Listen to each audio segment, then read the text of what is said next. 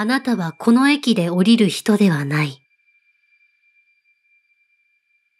この前、飲んでいた友達と別れて、一人で終電で帰っていたとき、ほろ酔い気分でまだ乗り換える駅まで時間があるから眠ってしまった。目が覚めて寝過ごしたと思って急いで降りようとしたら、隣に座っていた結構痩せ気味で肌にも影ができているようなおばさん、おばあさんに腕をつかまれて、あなたはここで降りる人じゃないから。わけがわからなかったんだけど、さらに隣のおばさん、多分付き添いの人がそのおばさんのことなだめて。何言ってんの？この人は知らない人でしょ？って言って、俺の腕を掴んでた手を静かに離しながら、すみませんって言われた。まあいいや、と思って改札出たら、乗り換える駅とは全然違う駅だった。もちろん電車はなく、その日は結局近くに住んでいる友達の家に泊まらせてもらった。怖くはないんだけど、あのおばあさん何だったんだ？なんで降りる駅じゃないって分かったんだ？ただ、その時は家に帰れなくなって、本当素直に言うこと従っておけばよかったと思うばかりだった。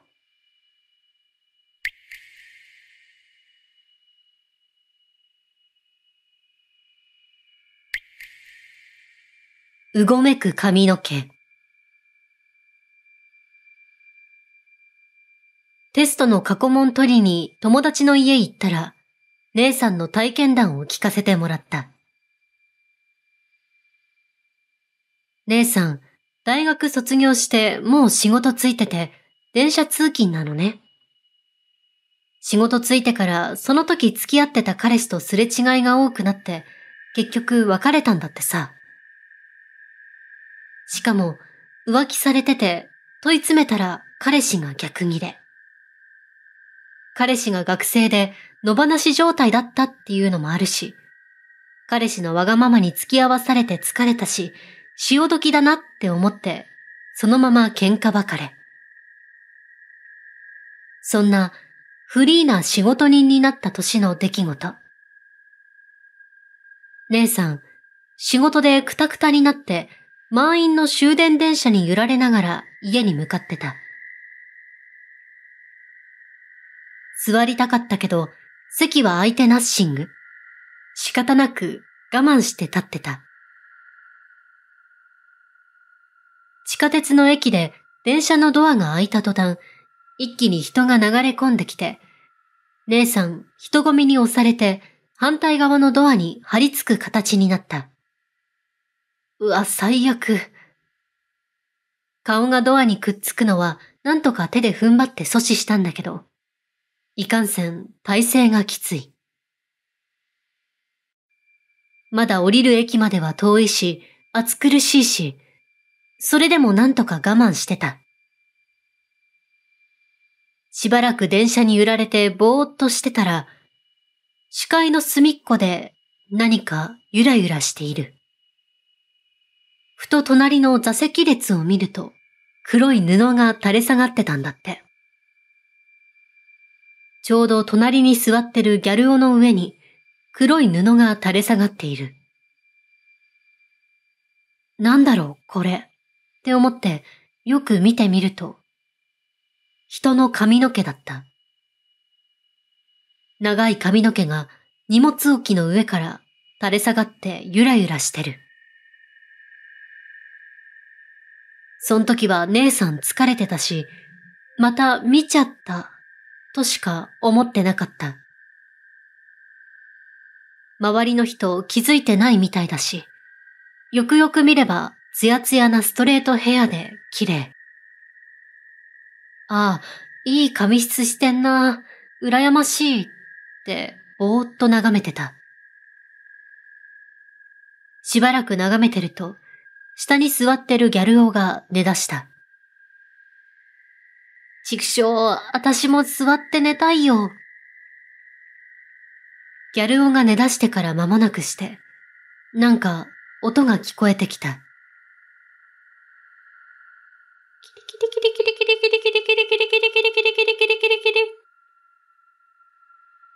髪の毛が音を立てて伸びていってる。結構こういうことにも慣れてるし、お、伸びてる伸びてる。って姉さんは冷静に観察したんだって。だんだんと髪の毛がギャル男の頭に近づく。このまま行ったらどうなるんだろう。あの男の髪が増量するのかしら。と思って、ちょっとワクワクして見てた。しばらく見てたら、電車がブレーキかけて駅に止まった。ギャルオはその振動で目覚ましてキョロキョロしてた。それと同時に、あのキリキリっていう音も止んで、髪の成長もストップした。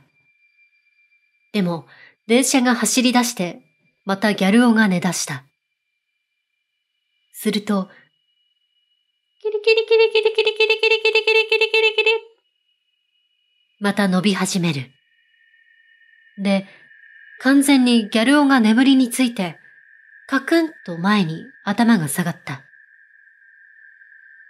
その瞬間、ギュルギュルギュルギュルギュル速度が増して、一気にギャル男の首に巻きついた。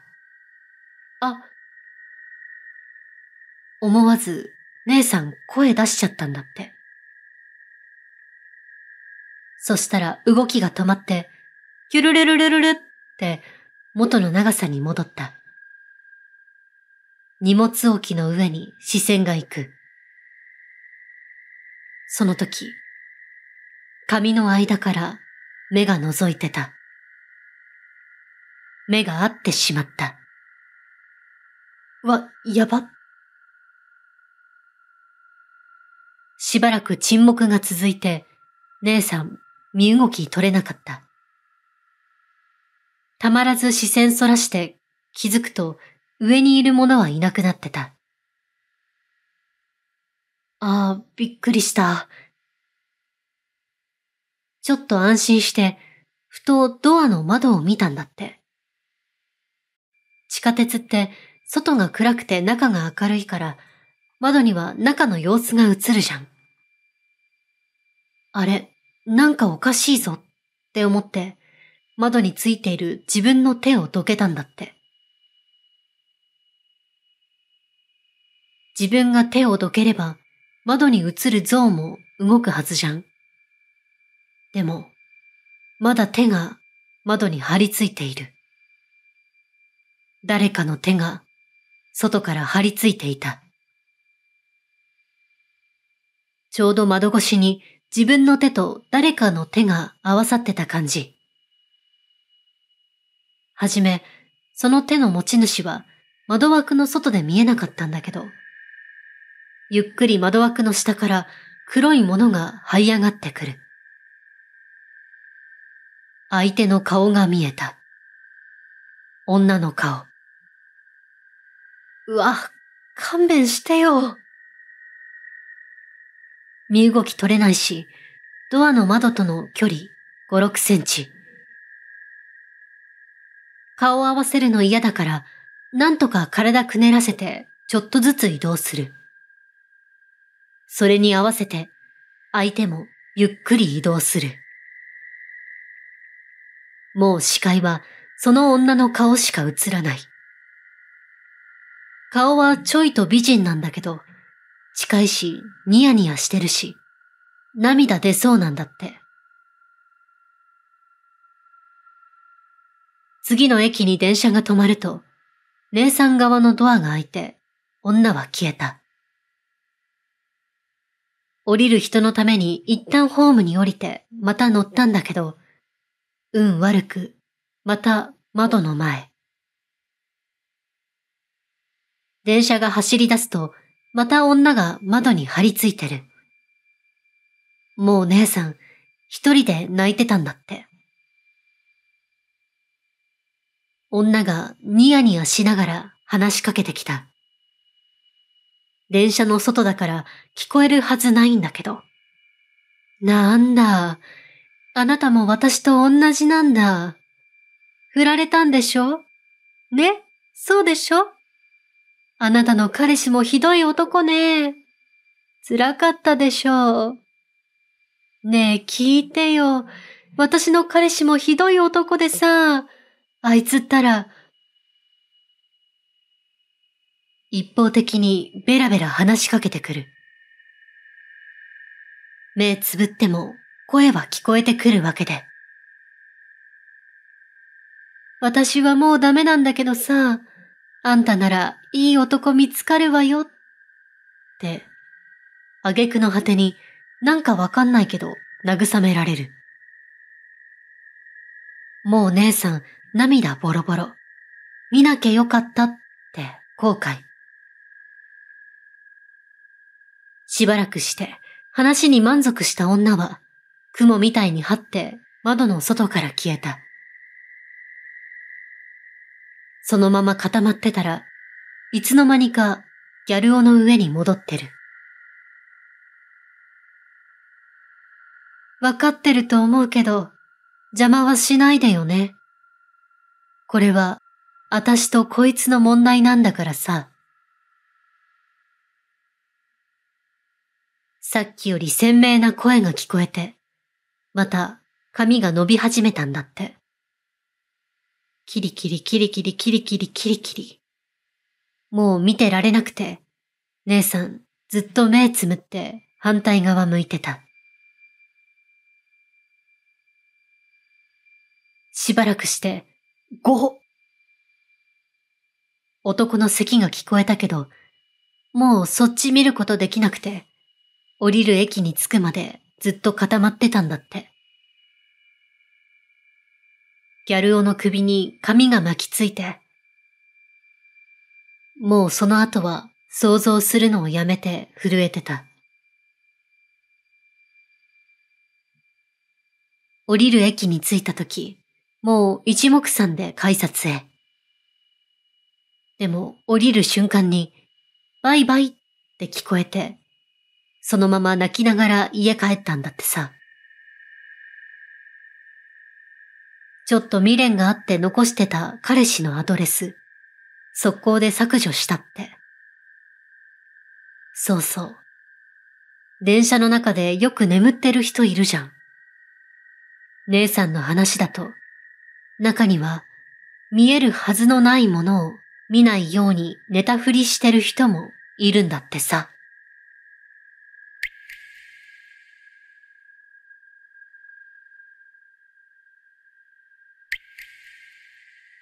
お化け屋敷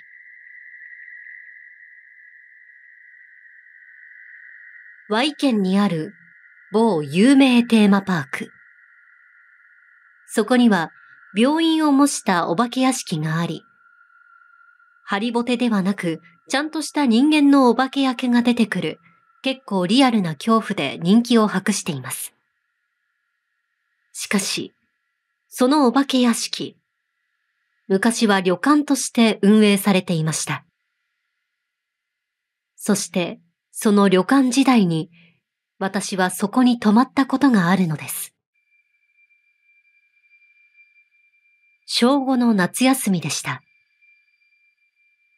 当時通っていた英語教室のお泊まり遠足で、その旅館に泊まることになりました。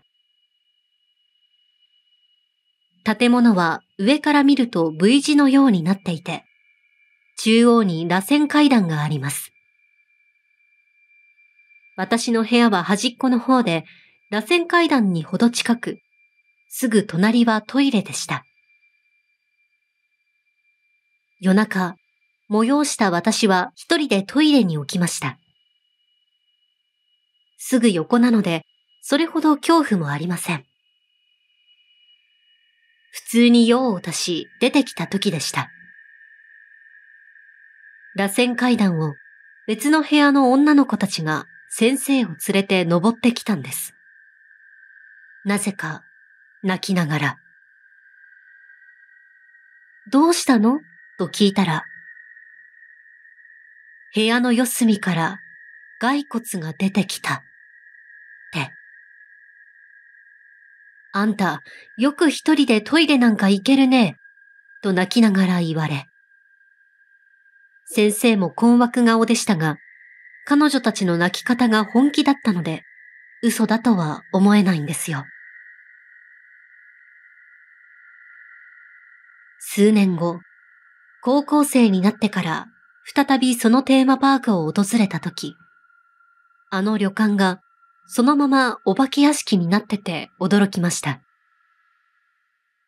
入ってみたら、あの螺旋階段も私たちが泊まった客室もそのまんまで、違う意味でうすら怖かったです。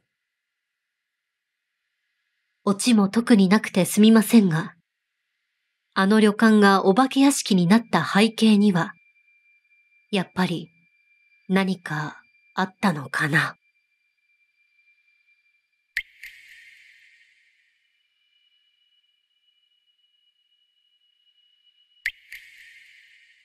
思いのシンクロ。4歳の娘が私の心を読む。というか、考えてることにシンクロする。例えば、死んだ犬のことをぼーっと考えていたら、ママ、コロちゃん死んじゃったね。もう会えないね。と突然言ったりとか、頭の中で歌を歌っていたら、同じ歌をいきなり歌い出したりとか。私は死んだ犬のことなんて数ヶ月に一度しか思い出さないのに。さっきはめっちゃ久しぶりに感激仲間の友達から感激お誘いのメールが来たんだけど、そのメールを開いて読んでたら、子供部屋にいた娘からママ、宝塚見に行くんでしょ？わかるよと言われてびっくりしてしまった。そうさ、宝塚に行こうよメールさ。思わず、な、なんでわかったの？なんで？って言っちゃったわ。わかるよと返されておしまいだったけど。でも、親子とか兄弟だとよくあるよね。思いのシンクロ。ちょっと不思議で、ちょっと嬉しい。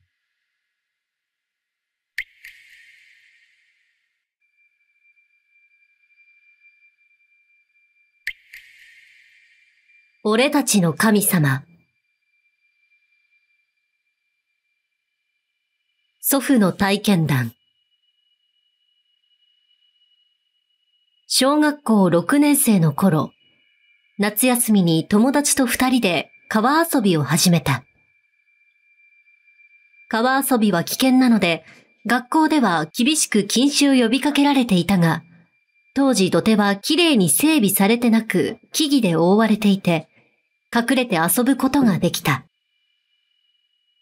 その時、遊びの一環で土手の木々の影に川石で神様の祠を作った。川石で壁と天井を作って土で固定して、子供の膝くらいまでの小さな祠を組み立てた。その中に適当な流木の破片を置いて、ご神体に見立てた。冗談で野いちごや花を備えたり、願掛けの真似事をして遊んだ。ごっこ遊びとはいえ、手を合わせて目をつめると、神妙な気分になったものだった。川で遊んで3週間経った頃、同級生の告げ口で川遊びが学校にバレた。友達と共に親と同伴で学校に呼び出され、猛烈に怒られた。さらに夏休み期間、家の畑仕事などの手伝いが終わった後、毎日学校に来て校長が指定した本の書き写しをするという罰も与えられた。もちろん、もう川に行くわけにはいかない。川に行かなくなって一週間ほど経った時、一緒に罰を受けている友人が言った。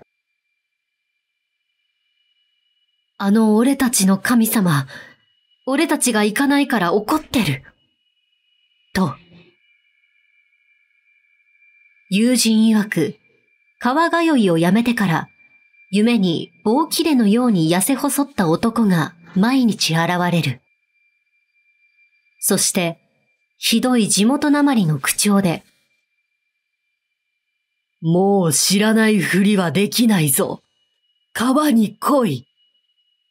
腕が惜しいか、足が惜しいか、と繰り返し言ってくる。あれはきっとあの祠にいる神様だ、とのことだった。眠れないこととずっと腹を下しているということも言っていた。俺は、きっと神様のたたりだ。と神様に恐怖を感じ家族に相談した。父と母はくだらないと聞き流したが、祖母は、また川に行きたいからそういう話を作るんだろ。この不良どもと激怒。次の日祖母は、その日の罰を終えた俺と友人を連れて河原へ行き、俺たちの目の前で神様の祠を破壊し、ほら、これでもう神様いない。川の遊びはおしまいな。と、俺と友人の頭を一発ずつ殴った。その日の夜、俺の夢にボロを着た骸骨のような男が現れた。顔の骨はほとんどなく、骨の形がはっきり浮き出ていた。くぼんだ眼下に目玉はない。前かがみにあぐらをかいて座っている。その骸骨はひどい地元なまりの口調でこう言った。こう食らってまで生きながらえようとしたが叶わず。野にむくろをさらしたるは無念。もう片方のわらべには唾をかけた。いつでも食えるぞ。当時、その言葉の意味はわからなかったが、言葉自体は今も忘れない。俺が骸骨男の夢を見たのは、その一度きりだった。後から知ったが、周囲一帯は歴史的な大飢饉で深刻な被害が出た土地だった。自分が見た夢のことは友人には言わなかった。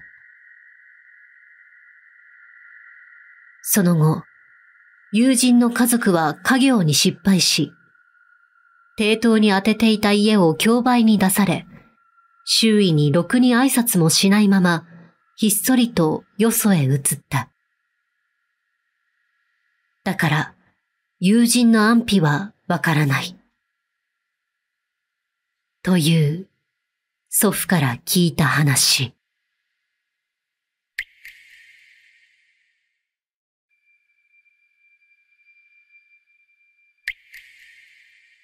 骸骨少年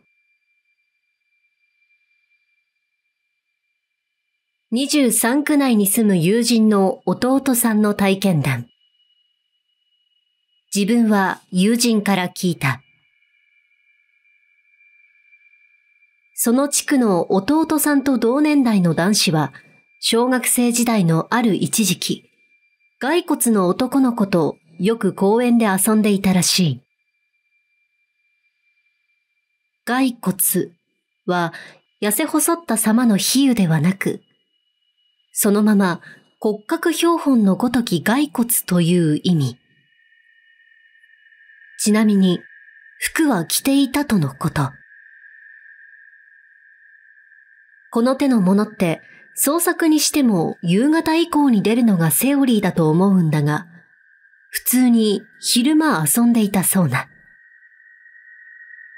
放課後だから夕方に近いといえば近いけど、少なくとも黄昏時ではない。で、その骸骨くん。外見以外はごく普通の男の子で、公園で遊んでいる間は子供たちも特に恐怖を感じたりはしなかったという。初対面時はぎょっとしたが、なんかこう、そういうものとして受け入れたそうだ。そんなわけで、骸骨くん出現後も子供たちは公園に通い続けた。が、何度目かだかに、日が暮れ始めたから帰ろうという時になって、骸骨くんがもっと遊びたいと言い出し、親が心配する、と断って帰ろうとする弟さんについてきてしまった。そこで初めて弟さんは怖くなったらしい。なんとなく家に入れたらまずいんじゃないかと感じたそうだ。結局骸骨くんはマンションまでついてきたが、急に家にあげることはできないと説明し、弟さんはマンションの中に駆け込んだ。入り口がオートロックタイプではなかったため、部屋までついてくるのではと心配したが、幸い気憂に終わった。ただ、自室に入る前に廊下からこそっと下を覗き込んでみたところ、まだ入り口でうろうろしていたとのこと。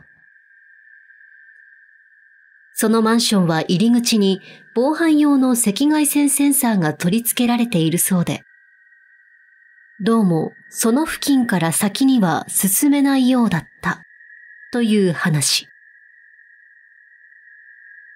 つまり骸骨くんは弟さんの迷惑を考えて入るのを遠慮したわけではなく、センサーに阻まれ、入りたいけど入れない状態だったらしい。夕暮れ時ってのも相まって、さすがにその様子を不気味に感じた弟さんは、その日初めて家族に骸骨少年の話をした。友人一家は空想か何かだと思い、その時は弟さんに適当に話を合わせたが、いくらもしないうちにご近所さんで同種の話を耳にするようになって驚いた。骸骨少年について来られた子がいたわけだ。ここに来てようやく怖くなってきた子供たちが親に打ち明け、その話を子供の想像力の産物と捉えた親が笑い話として他の親に話したり、子供の怯えっぷりを心配してご近所の父兄に相談したりして、結果、なんだかよくわからないが、うちの子だけの空想話では済まないようだ、という話になった。もちろん、大人たちは子供の話をそのまま信じたわけではないが、とにかく子供たちが怖がっているのは事実なので、パトロールをしてみたり、こういう噂があります。不審者に注意。公園で子供を遊ばせないように。というようなチラシも回覧板で回された。地元の学校でも公園で遊ばないよう児童へ注意があったという。ちなみに目撃者、遭遇者は小学生以下にほぼ限られ、当時中学生だった友人も、自分自身では見ていないし、大人たちの中にも見た人はいなかったと思う。とのこと。友人の知る限りという限定付きだけど、骸骨少年について来られた子は、ほぼ全員マンション住まいか、缶抜き付きの門扉がついているお宅の子で、玄関先まで来られてしまったパターンは幸いにしてないという話だった。そういう家に住んでいない子の例も少数あったらしいが、知り合いの住むマンションに駆け込んで事なきを得たとか。したがって、センサー、勘抜きなしの場合や、家にあげるとどうなるかは不明。赤外線センサーがあるとなぜダメなのかも不明だし、そもそも本当に赤外線センサーがダメだったのかどうかも実際は不明。また、骸骨少年は単に遊びたいだけのようで、家にあげなかったことで、その後恨まれた、危害を加えられた、霊障があった、という話は皆無。正体も、公園との因果関係も、その後出没しなくなった理由も不明。結局、いつの間にか目撃談はなくなって、自然と事態は収束したそうな。一応当時の大人たちの感触としては、子供たちの狂言とは思えなかったとのことだけど、一種の集団ヒステリーだったのかなという気もする。それか、全部友人の創作か。ただ、なんか、夕暮れのマンションの前でうろうろする骸骨少年とか、当たり前みたいに骸骨と遊んでて、後からじわじわ恐怖を味わっただろう子供たちの心境とか考えると、ほんのり怖かったので投下させてもらった。不明部分は不明のまま。こういう騒ぎが昔あったのだけは確かだけど、見てないから骸骨話が本当かどうかはわからない。ってスタンスで話してくれたので、なんか余計に怖かった。友人曰く、地元民なら回覧板回ったくらいだから覚えてるはず。とのこと。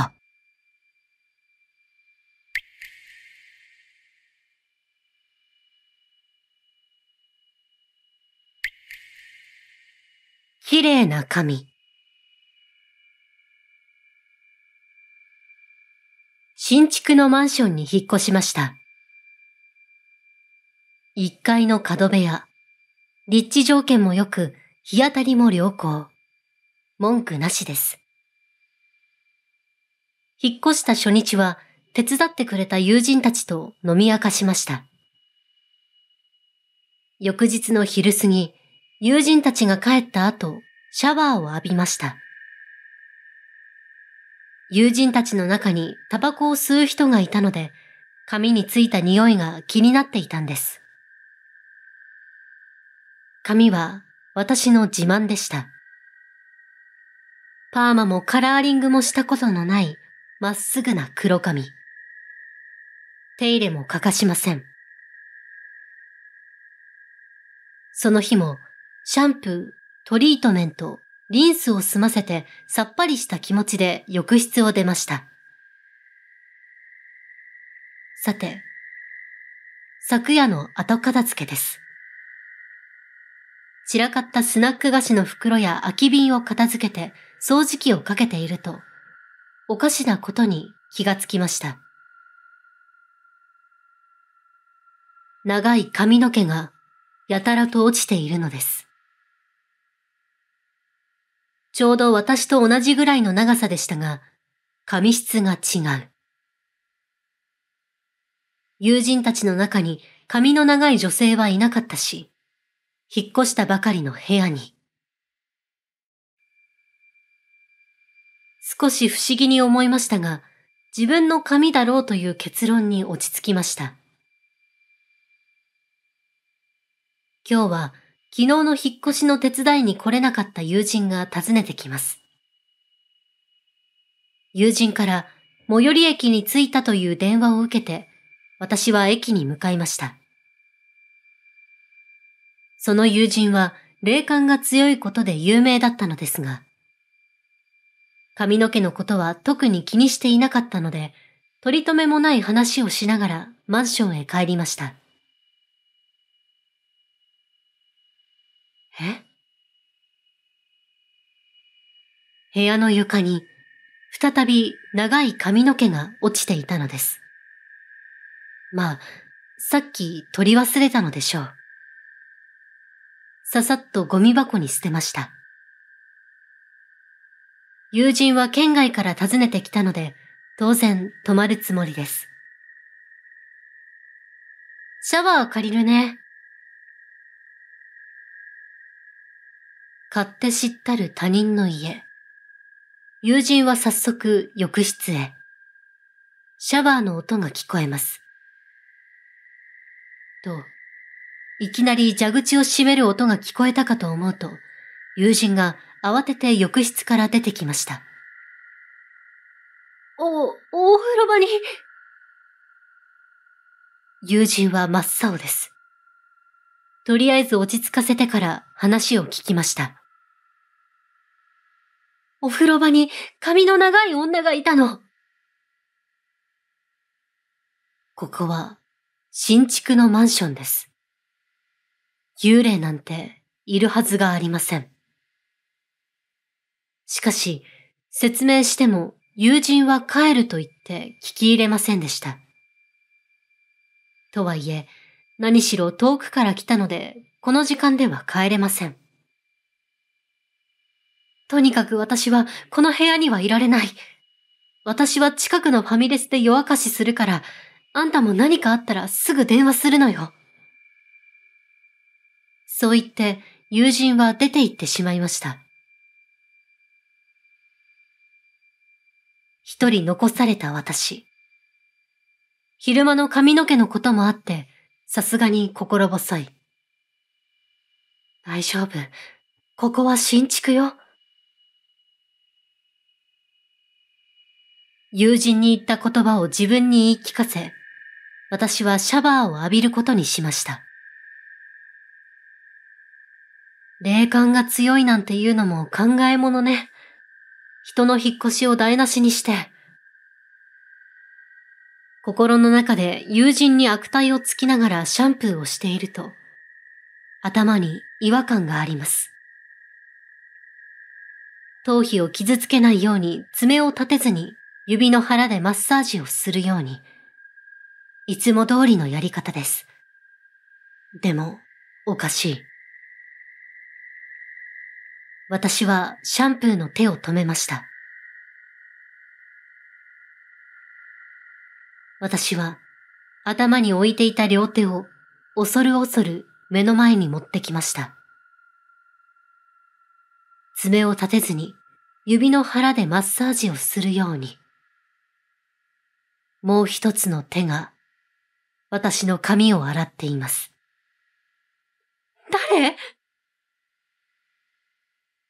振り向くと顔の焼けただれた女性でしょうか。が私の頭の上に片手を乗せたまま、綺麗な髪ね。確かに女性の声でした。シャワーの音で気がつきました。私はシャンプーの泡を流さないまま気絶していたので、髪の毛がゴワゴワです。そんなことを気にしている場合ではありませんでした。ささっと泡を洗い流し、木の実木のままマンションを飛び出しました。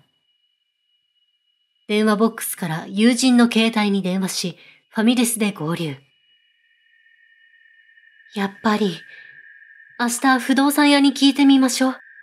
ついて行ってあげるから。翌日、不動産屋に聞いた話はこんな感じでした。マンションが建つ前、そこには一軒の家と花屋さんがあったそうです。花屋の娘さんは長い髪が自慢の美人でした。ところが、その家で火事が起こってしまったのです。お風呂場のガス釜が爆発したのです。居合わせた娘さんは顔を大やけどし、自慢の髪もほとんどが焼け焦げてしまいました。娘さんは恋人にも振られ、引きこもりがちに。一つかみだけ残った髪の毛を、それはそれは大事にしていたそうです。シャンプー、トリートメント、リンスを一日に何度も繰り返し、鏡の前で髪を溶かしながら、私の髪、きれい私の髪、きれい何度も母親に尋ねていました。ところが、そのわずかな髪も精神的ショックと手入れのしすぎで抜け始めてしまったのです。娘さんはお風呂場で手首を切って自殺しました。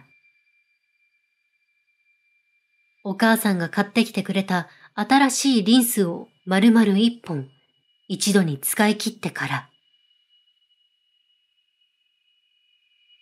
ちょうどお嬢さんのような髪のきれいな娘さんだったよ。不動産屋は私を懐かしそうに見つめて、そう言いました。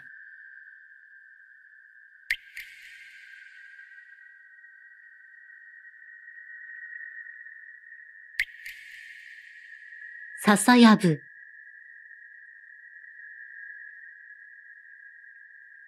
俺が小学1年生くらいの頃の出来事だったと思う。ある日のこと。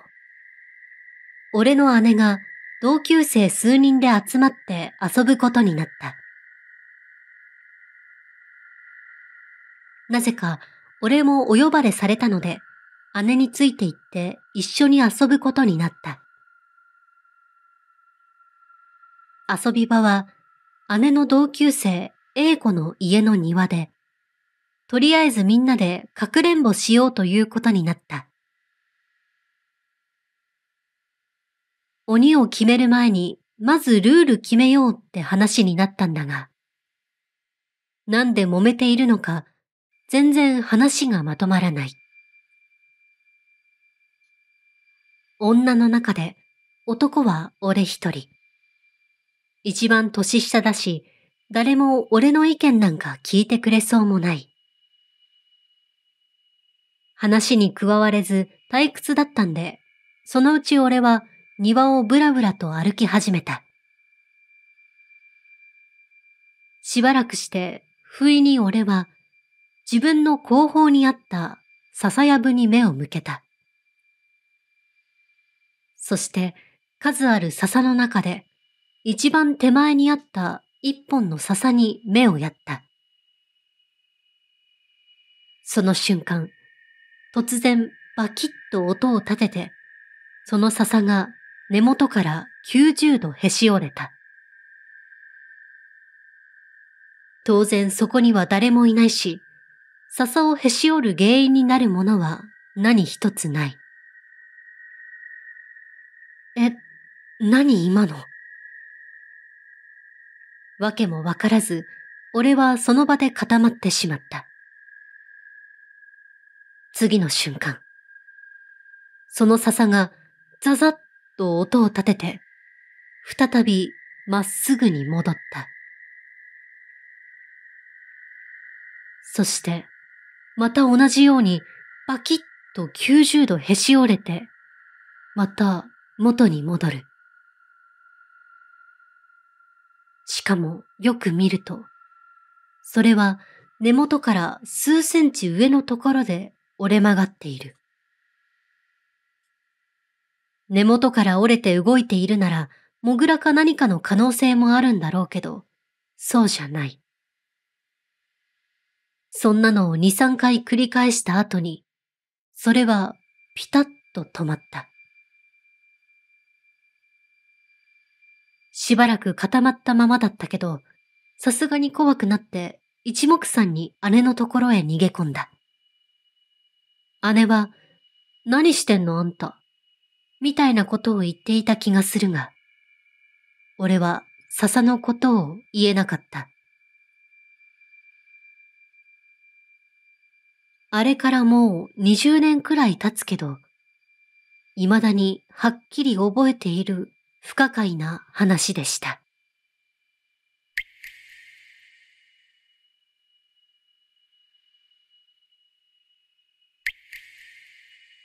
じいちゃんの話。これは、俺が10年以上前に体験した話。当時僕は田舎にある実家に住んでいた。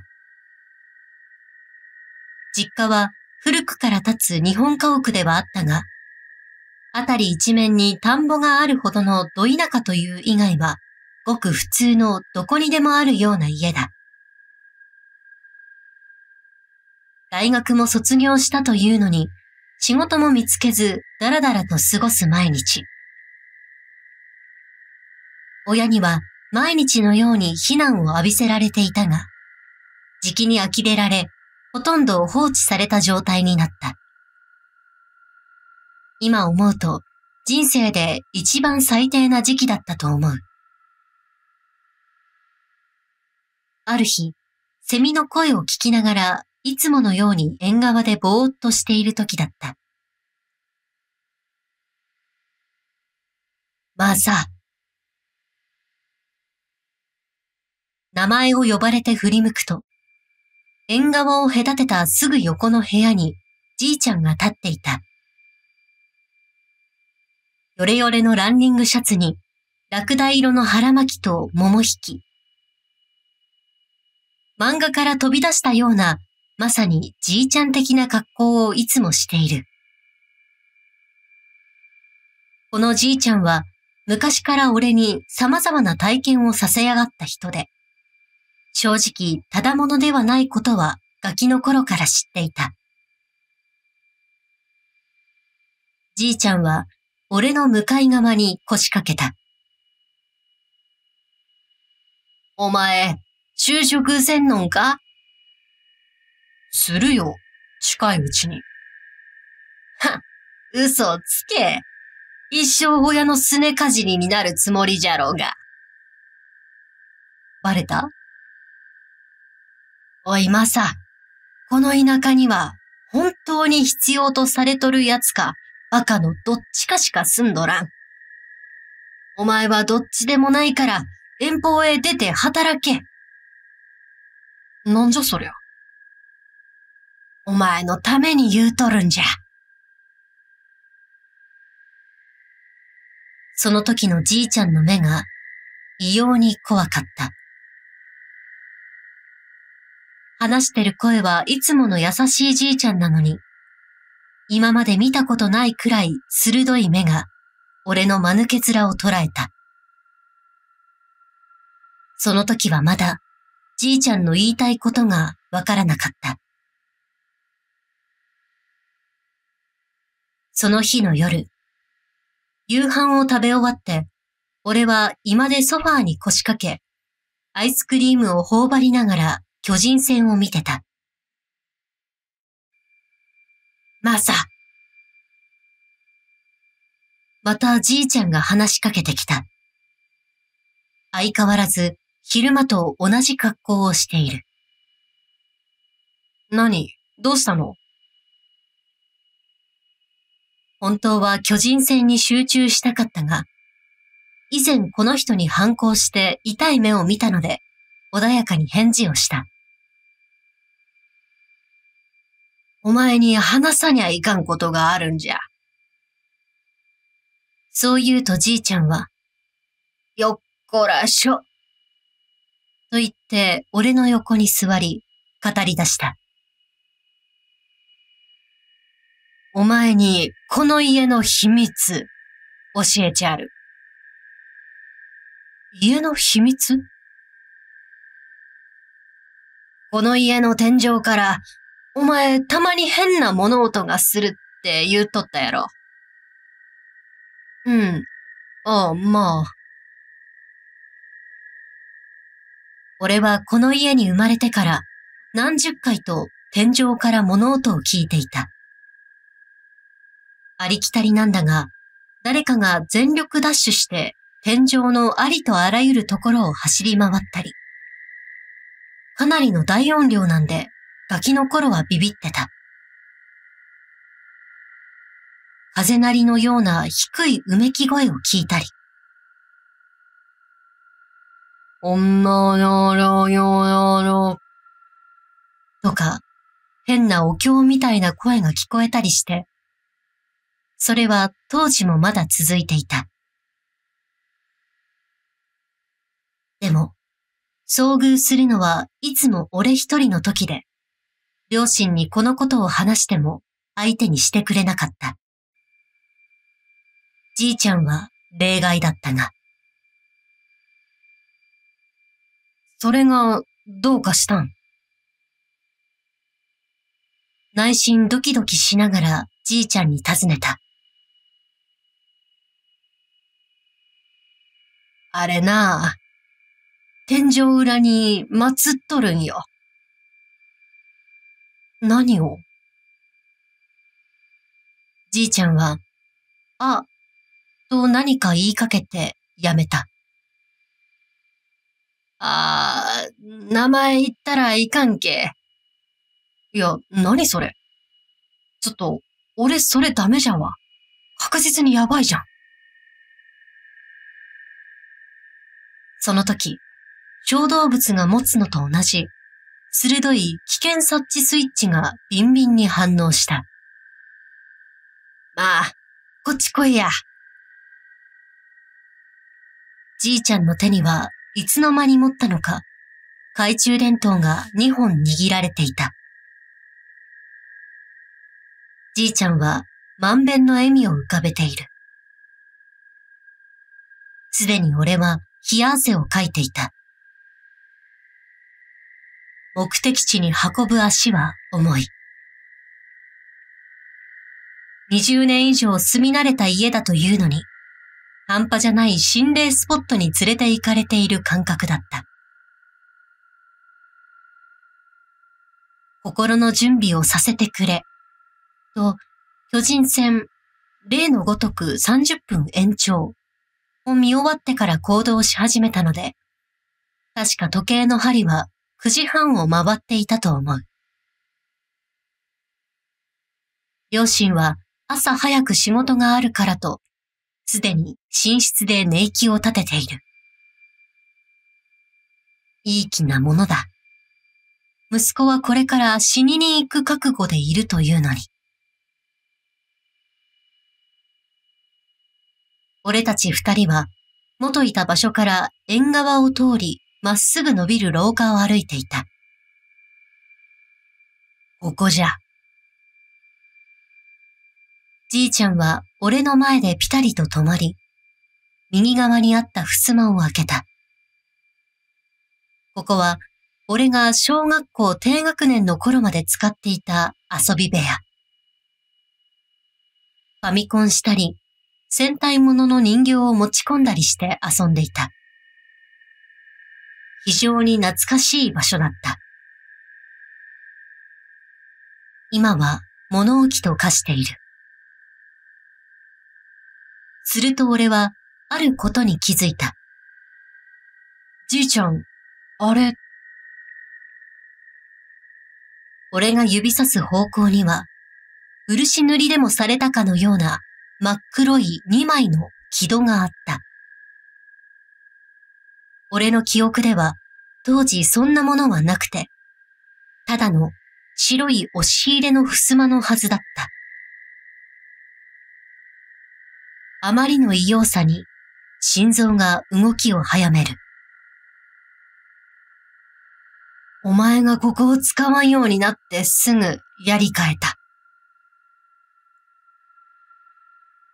じいちゃんは当たり前のように言って、震え上がる俺を尻目に、木戸に手をかけた。おっつー。という音とともに、木戸が開いた。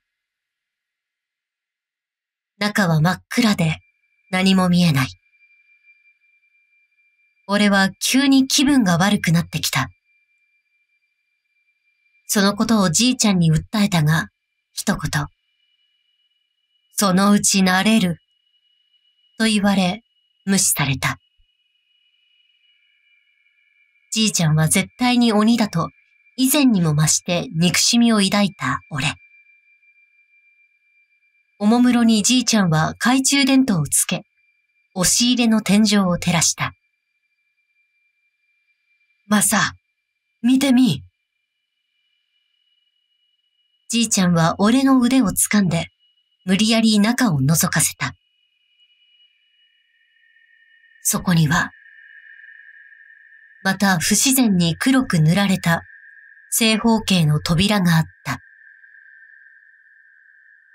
俺たちはその扉から天井裏へと侵入した。最初はじいちゃんを押し上げて、次に俺がその空間に入った瞬間。先ほどとは比べ物にならないくらいの吐き気とおかんに襲われた。空気が重いなんてもんじゃない。やばい。これほどまで命の危険を感じたことがないくらいやばい。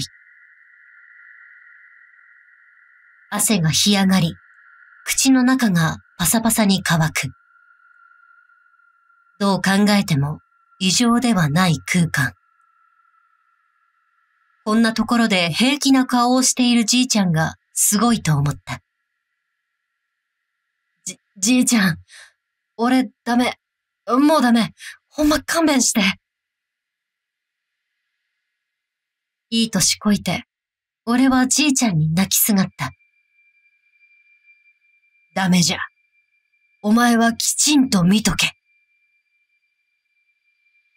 じいちゃんは昼間に見た以上に厳しい顔をしていた。じいちゃんが何を考えているのかさっぱりわからない。俺をこんなところに連れてきやがって、本気で殺す気だと心の中でじいちゃんを殺人者呼ばわりした。とにかく落ち着こうと、ゆっくり息を吸ってむせた。当たり前だが、ここは埃だらけ。深呼吸なんてすれば、むせるに決まってる。周囲を見渡せば、築90年の家の骨組みがあらわになっていた。適当に懐中電灯を振り回していると、光の円の端にチカッと光るものが見えた。なんだ？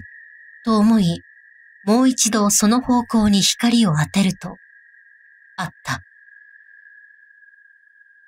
神棚のような、でも、なんだか少し様子が違う。よくわからないが、祠のようなそんな感じのものが異様なオーラを出して佇んでいた。じいちゃん、あれ何？俺の唇は震えて、まともにろれつが回らないのを必死にこらえた。あれが物音の原因よ。じいちゃんも、祠に光を当てた。が、急にじいちゃんは驚いた顔をして、俺から懐中電灯を奪い取ると、二つともスイッチを切った。目の前は闇に包まれた。あの顔からすると、じいちゃんはかなり焦っている。じいちゃん？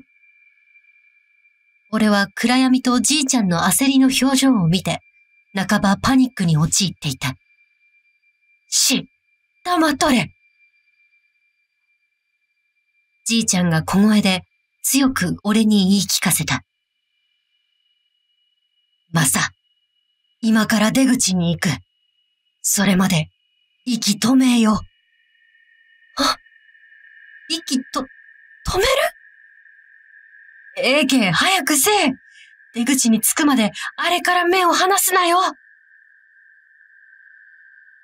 あれとは、祠のこと。だが、わけがわからない。なぜ息を止めながら、祠を見て出口まで向かうんだ。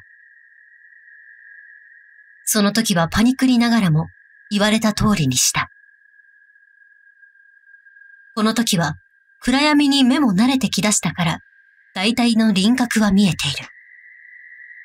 息を大きく吸い込んで、もちろん途中でむせた。すぐ異変は現れた。祠の扉から変な影のようなものがニュルッと出てきた。それを見た俺の動きは一瞬にして固まった。もう思考回路はショート寸前。よく見ると、それは人の形をしていた。暗闇よりも暗い色。動きは鈍い。左右に揺れたり、突然倒れたかと思うと、四つん這いになって雲みたいな動きをしたり。俺の文章力では表しきれないほど気持ち悪い動きをしていた。初めて見るそれは、恐怖どころか興味を抱かせた。だが、危険なものに変わりはない。明らかにこの世のものではなくて、俺の足はガクガク震えていた。それから目を離せないでいると、じいちゃんが俺の服の裾を引っ張って出口まで後ずさるように促した。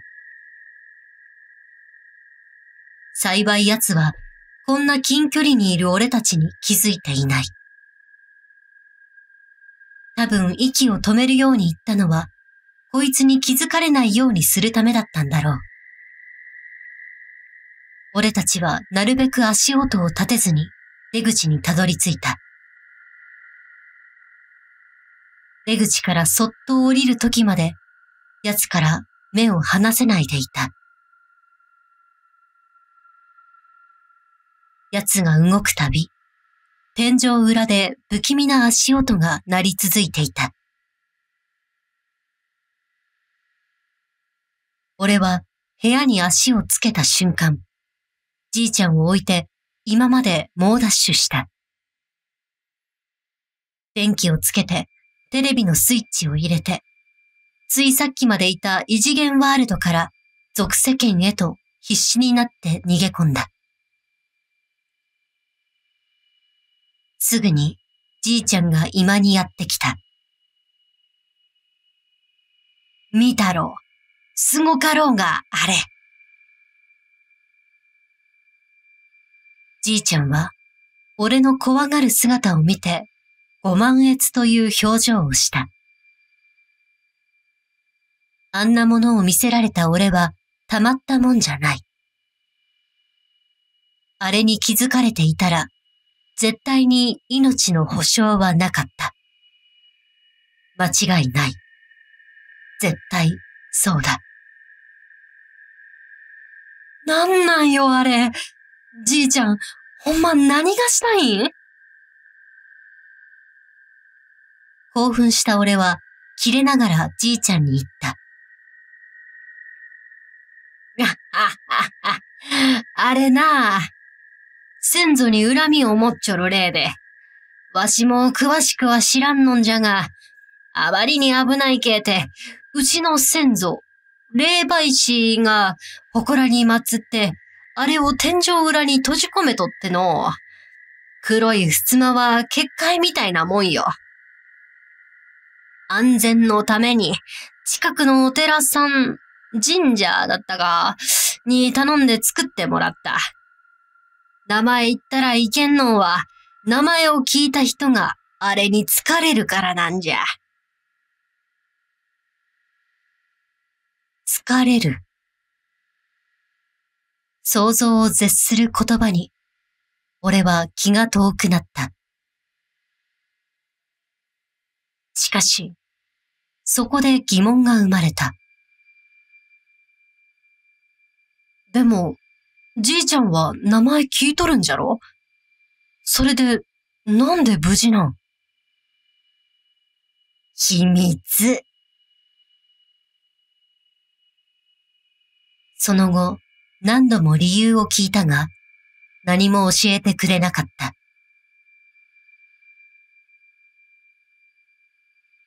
翌朝、俺はまた縁側にいた。昨日のことは夢だったのではないか。多分そうだ。うちにあんなものがあるわけがない。そう言い聞かせようとしていた矢先、じいちゃんがまた俺の向かい側に座った。あまり見たくない人物だというのに。おはよう、じいちゃん。とりあえず挨拶した。これで昔肩着の人だから挨拶にはうるさい。どんなに不機嫌でも挨拶はしなくてはならない。おう、おはよう。じいちゃんも笑顔で返したが、じいちゃんは俺を見るなり、両膝に両手を置いた。そして、まる。え？今、じいちゃんは何を言った？じいちゃん？まるまる。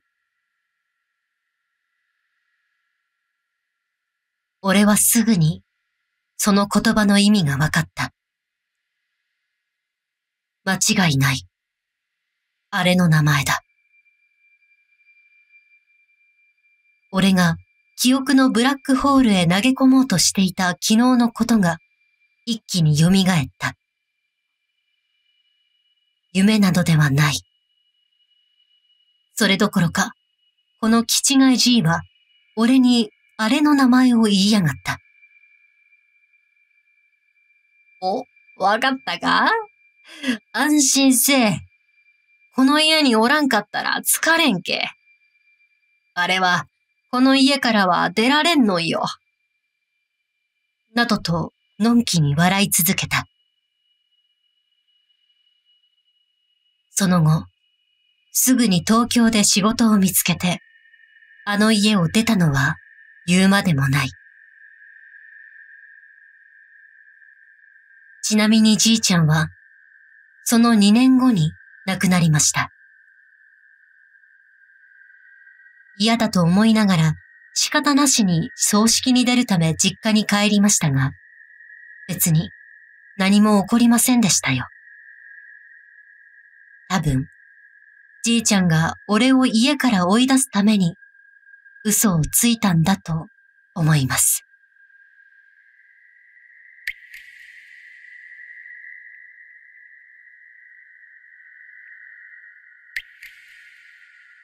JR 新小岩駅の階。ちょっと前のことだが、JR 新小岩駅のホームで変な男を見た。サラリーマン風の男が、僕の腕知りませんか？僕の腕知りませんか？と、甲高い大声を上げながらホームを行ったり来たりしている。ちらほらとまばらにいる他の乗客は無視しているのか、男を見ようともしない。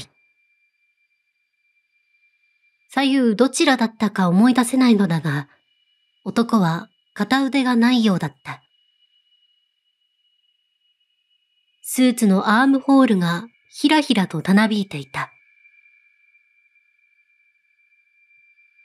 男から目を離し携帯を見ている間にどこかに行ってしまったのか。男の声は聞こえなくなった。電車到着の放送が流れ、ホームに向き直すと、耳元で、知りませんか？男の顔が俺の顔のすぐ横にあった。俺は腰を抜かしそうになった。パーと警報が響き、直後に電車がホームに入ってきた。よろめいた俺は白線の外に出てしまっていたようだ。一瞬のことだった。しかし、消えてしまったかのように男はいなくなっていた。男の吐息が耳元に残っている。絶対に気のせいではない。周りの視線がちょっと気になったので、電車は一本見合わせた。ホームをよく見て回ったが、男の姿はなかった。以来、その男は見ていない。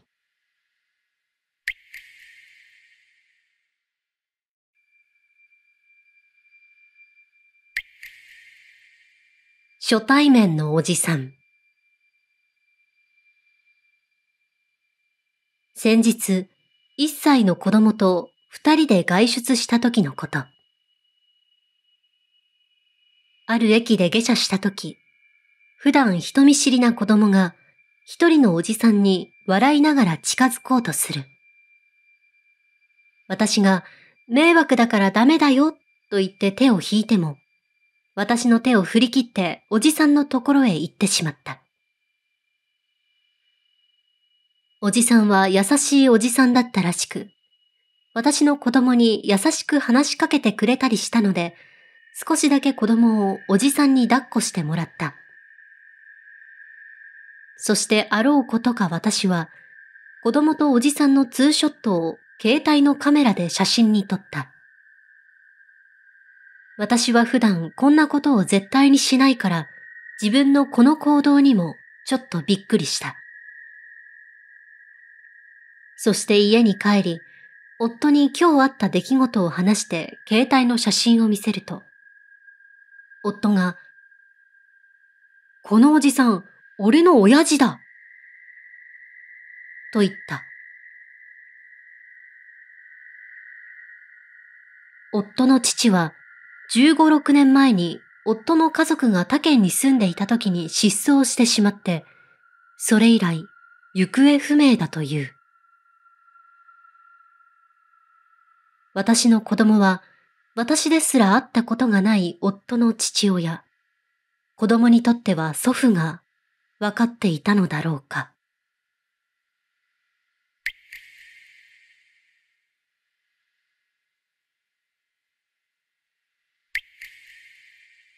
誰のこと？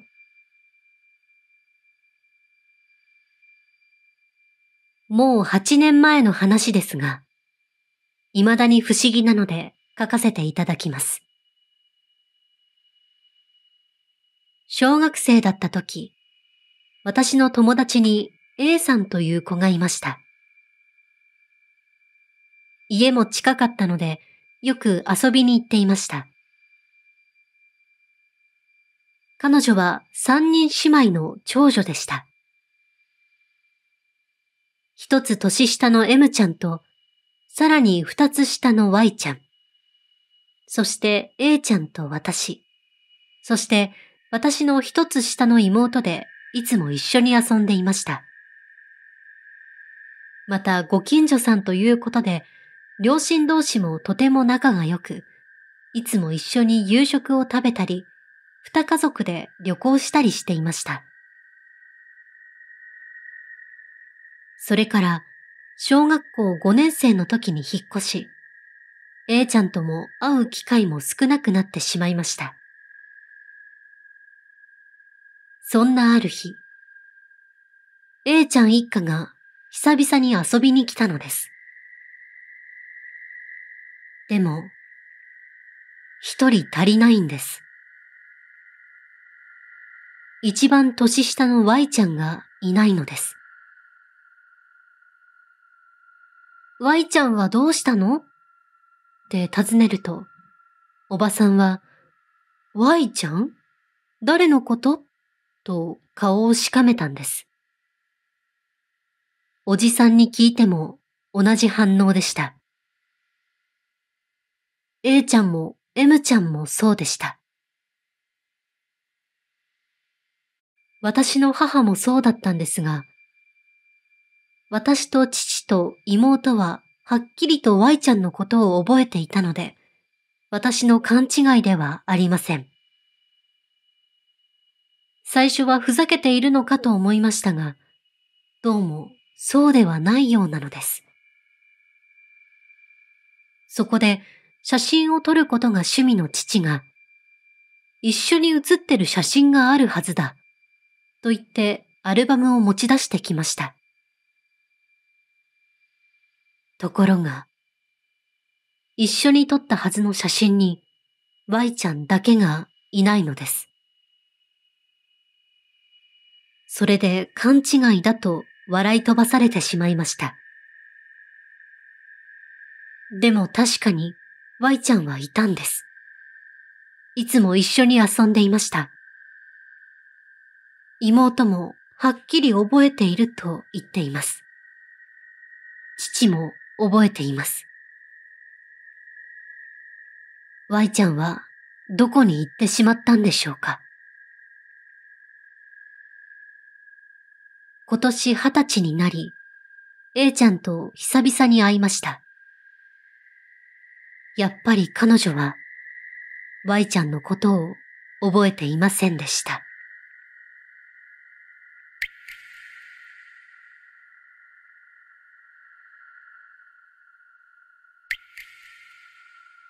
釣る、這う、惹かれる。それは、カエルとコオロギの鳴き声が響く、夏も終わりかけたある夜の出来事だった。この家だってよ、出るって有名な家。僕と K は、その二階建ての一軒家を、周りをぐるっと囲む塀の外から眺めていた。風は存外に冷たく、そういう季節はもう過ぎたのだと感じる。なのに、僕らはまた肝試しに来てしまった。僕と K と S。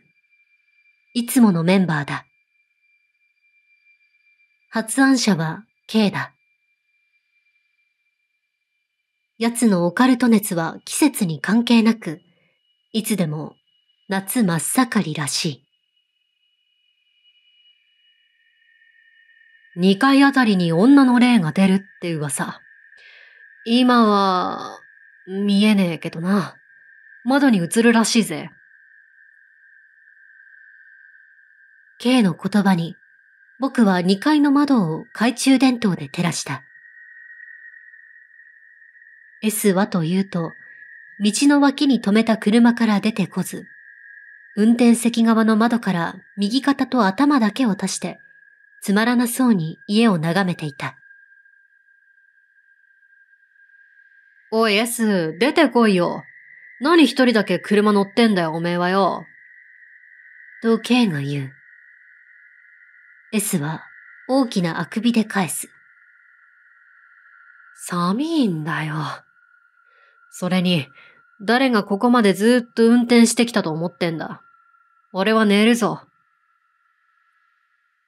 S はそう言って、車の中に引っ込み、窓を閉めてしまった。T シャツ一枚で着たやつが悪いんだよ。と、K がカッカッカッと笑う。でも確かに今日の夜は存外冷える。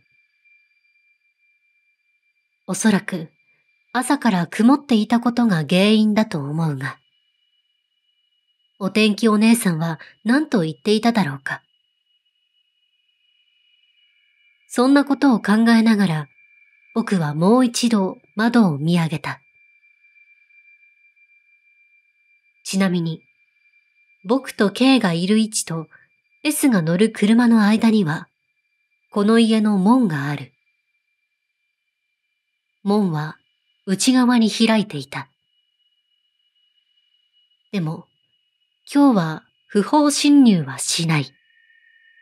外から眺めるだけだ。理由は、ここがそういうスポットだから。噂じゃ女。っていうか、この家の娘な。事故で下半身が動かなくなったんだってよ。それから女はショックでだんだん頭がおかしくなって、そのせいで両親はその女を自宅にずっと閉じ込めてたんだと。病気家族だな。と、隣で K が言う。いつもならここで S の鋭い突っ込みが入るのだが、上が T シャツ一枚の人間にとっては、この寒さは多少分が悪い。で、事件は起きるわけだ。その女が夜、寝ている両親の首をナイフでかっ切って、自分も自殺したんだな。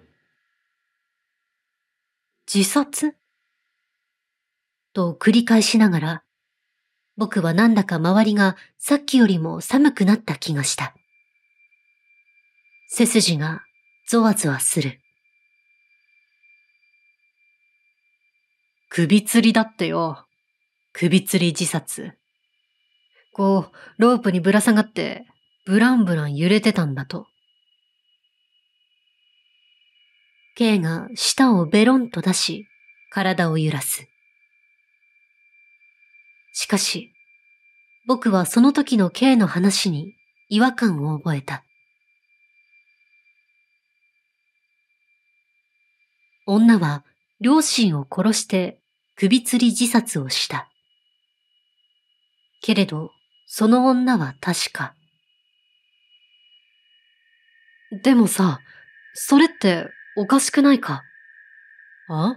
何が？足も動かないのに、どうやって首吊るんだよ。どうやってって、そりゃお前。と、K が何かを言おうとしていたその口が止まる。ゾワリ、と冷たいものが僕の首筋を撫でた。それはまるで大きなつららを直接背中に当てられたような感覚だった。足から頭まで全身に鳥肌が立つのが分かった。僕と K はほぼ同時に2階の窓を見上げた。2階の一室の窓が徐々に開いていた。ゆっくり、音もなく。隙間に女の顔が見えた。髪がボサボサ。大きく見開いた目が僕ら二人を見据えていた。窓は開く。隙間が広がり、その首にロープが見えたその時。女は一気に窓のわずかな隙間から外へと身を乗り出した。女が頭から落ちる。途中でその首に巻いてあったロープが落下を食い止めた。ガクンと女の体が上下に反転し、2階の窓を支点に振り子運動を始める。ブランブラン。枯れ木のように細い足。その手にはナイフらしきものが握られている。一つ、二つ、三つ。その体が痙攣した。ナイフが手から落ちる。その手が宙をかく。音は何もない。そのうち女の両手がだらりと下に垂れ下がった。口が開き、真っ赤な舌がその中に覗いていた。死んだのか死んでいるのかしかし女の目だけは未だこちらをぎょろりと見据えていた。僕の口から何か悲鳴のようなものが出ようとしていた。と、僕の首筋に冷たいものが当たった。僕はついに悲鳴を上げて実際飛び上がった。雨だった。しかし、雨のおかげで一瞬だけだが気がそれた。それからはっとしてまた二階を見上げたが、そこにはもう何もなかった。首をつった女の姿も、窓も、閉まったままだった。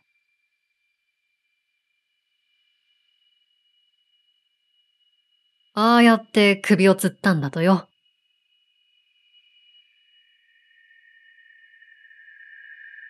隣を見ると、K は笑っていたが、無理をしている笑いだと一瞬でわかる。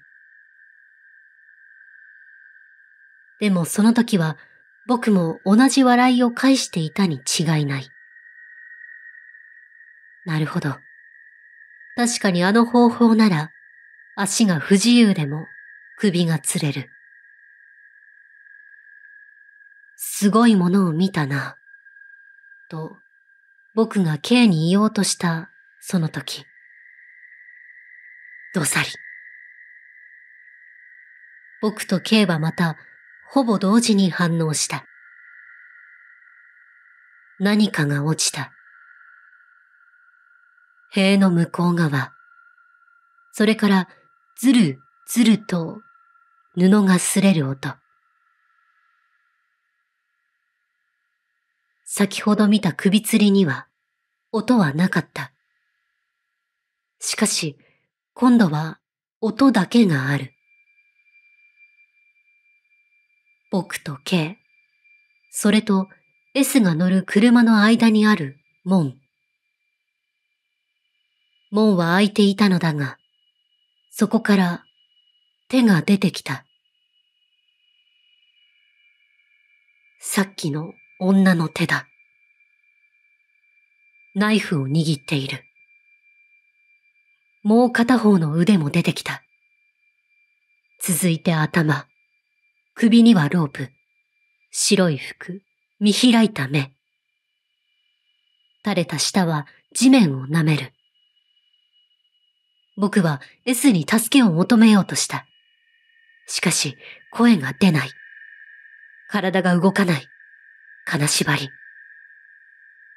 K も同じらしかった。どうしよう。こっちにゆっくり這い寄ってくる。足は動いていない。手だけで地面をずるずると。怖い。それに近い。怖い、近い、怖い、近い。這い寄る女と僕らの距離はもう2メートルも離れていなかった。あ、もうダメかも。本気でそう思う。突然、光に目がくらんだ。エンジン音とブレーキ音。気がつくと僕らが乗ってきた車が目の前にあった。金縛りが解け、体が動く。体は動いたが、僕はしばらくその場を動けなかった。ウィーンと運転席側の窓が開き、S の眠たそうな声が聞こえる。おいお前ら、もういいだろう。雨が降ってきたから帰ろうぜ。僕と K は顔を見合わせた。恐る恐る車の下を覗くが、そこには何もいない。こいつ。K がつぶやく。引きやがった。あ？ああ、そういや、妙な手応えがあったな。でっかいカエルでも潰したか？僕は何も言えないでいた。K も S をまじまじ見つめるだけだった。そんな僕らに S は怪げそうな顔を見せ。どうしたお前ら？なんかあったか？ま、何を見ても聞いてもだ。そりゃ厳格に厳重だ。ほら乗れ。もう帰るぞ。僕と K はもう一度顔を見合わせ、お互い何も言わずに車に乗り込んだ。それは、カエルとコオロギの鳴き声が響く、夏も終わりかけた、ある夜の出来事だった。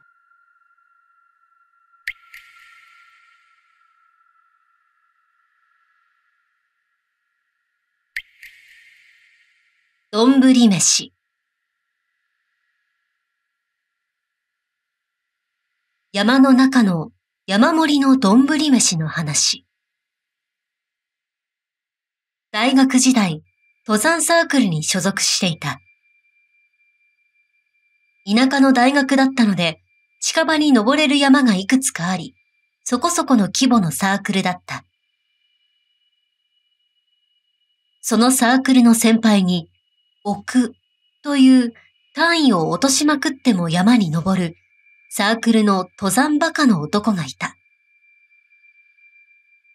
奥はいるだけでうるさいような男だったが、快活な性格からサークル内でも慕う者は多かった。ある日、奥に奇妙な一枚の写真を見せられた。山中、大きな岩の上に橋がまっすぐ突き立てられた山盛りの丼飯がポツンと置いてある。奥に、これは一体何かと問うと、大学から車で30分ほどの場所にある R 山で、奥が一人で登った時に撮ったものだという。詳しく聞くと、奥の他に登山者はいなかった。にもかかわらず、その丼飯は今炊きたてのように湯気が立っていたという。奥は、狐か狸にでも化かされたかな、などと言っていたが、俺は正直登山バカ奥の自作自演の悪ふざけだと思っていた。しかし、それ以降、奥が R 山に登ると決まって、行く先に丼飯が置かれるようになったそうだ。これは置く一人の時ばかりでなく、複数人で登る時でも必ず置かれているという。この丼飯の話はサークル内で有名になり、奥はサークル内で山に愛されたバカとか呼ばれてまんざらでもなさそうだった。しかし、僕は今まで一度もその丼飯に手をつけていないという。サークル内では、奥にその丼飯を食わせたらどうなるかという話で盛り上がり、一度奥に丼飯を食わせてみようということになった。その話に奥も乗り気で、後日奥を中心に俺を含め5人で R 山に登ることになった。登山当日。奥はいつもより上機嫌に見えた。登山開始から4時間ほど経った頃、先頭の奥が、見つけたと大きな声を上げた。見ると、奥に見せられた写真の場所に、見事にほっかほかの丼飯が置かれていた。初めて見る俺はその異様さにビビっていたが、奥は、おー、実は初めて見た時から食いたかったんだよね。いただきまーす。と言いながら、丼飯にずかずかと近づき、丼飯を口に運んでいる。そして、おー、なんだこれ超うめえマジうめえ死ぬほどうめえなどと叫び、一気に平らげてしまった。残された空の丼には、飯粒一つついていなかった。他のメンバーは口々に、一応、せいろが用意してあるから腹痛くなったら言えよ。とか、一口くらい食わせろよ。などと声をかけたが、僕は飯のうまさに感動して、ほとんど耳に入っていないようだった。とりあえず目的を達成したので、その日はキャンプもせずにそのまま下山して、大学のサークル室まで戻って酒盛りをした。しかし、酒を飲むといつも饒舌になる奥は、その日はほとんど喋らず、心ここにあらず、という感じだった。そして、そのまま俺たちは、サークル室で雑魚寝をした。しかし、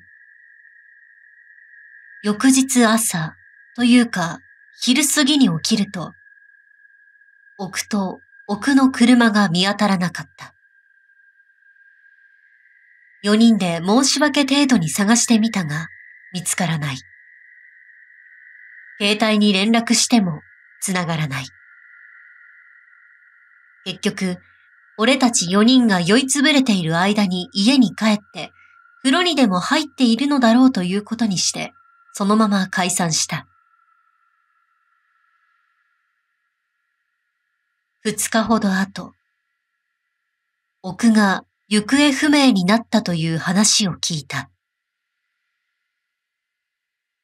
奥の親御さんによると、あの日から家には戻っておらず、車もどこにも見当たらないという。こうして、親御さんの手によって捜索届が出された。奥の車は、捜索届が出された翌日に、R 山のふもとで発見された。奥の登山道具も車中に置いてあったという。R 山で奥の捜索が散々行われ、サークルのメンバーも協力したが、奥は今でも発見されていない。その後、俺は大学を卒業したが、趣味として登山は続けている。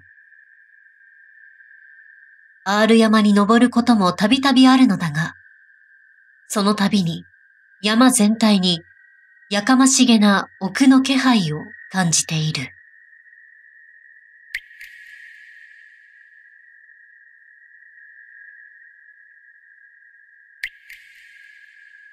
謎の集落。四国の大学で地質学の卒論を書いた。フィールドワークで一人山に入るんだが、基本的に道路から外れた本当山中を歩く。基本的に山道を進んで川の上流まで上がってから川べりを下りながら、路頭という地層が露出した箇所を探しながら、車が止めてあるスタート地点に戻る。路頭を見つけたらフィールド帳に書き込み、地図と合わせて地質図を作る作業をするんだ。その日も一人で調査のため山に入った。一応コンパスと歩数でルートマップを作りつつ、時々 GPS で補正をする感じ。たまに国土地理院の地図が間違っていて、えらい目にあったという話も聞くが、基本こっちはマップを作りながら歩いているので、まず迷うことない。獣道を進んで、朝の8時から山に入って2時間ほど歩いていると、盆地に広がる小さな集落に出た。持っていた地図には載っていない。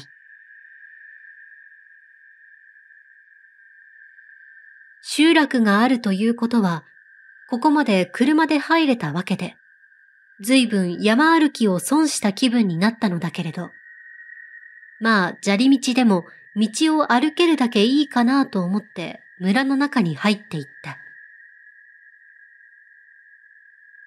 集落に近づくと、なんか、ちょっと嫌な感じがした。多少古ぼけてはいるけど、田んぼにも稲があるし、戸締まりもきちんとしていて、廃墟という感じではないのだけれど、どうも人の気配がなさすぎる。何度かこういう集落を通ったことがあるけれど、朝方で人が出ていないのはよくあるが、犬などもいなくて静かすぎる。